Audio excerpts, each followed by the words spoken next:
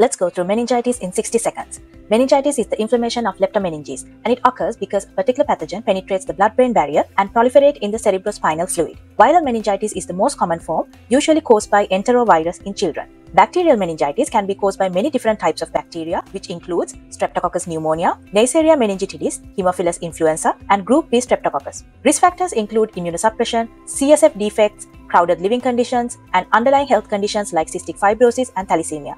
These patients will present with headache, photophobia, neck stiffness, fever, irritability, and drowsiness. Diagnosis is made by analyzing the cerebrospinal fluid where we focus on looking at the microscopy and culture, protein and glucose levels. Initial treatment is with empirical antibiotics like third generation cephalosporins. Treatment can be rationalized once the pathogen is known. Viral meningitis generally has a good prognosis, though bacterial meningitis, they can have long-term complications like sensorineural hearing loss, hydrocephalus, intellectual disability, and epilepsy.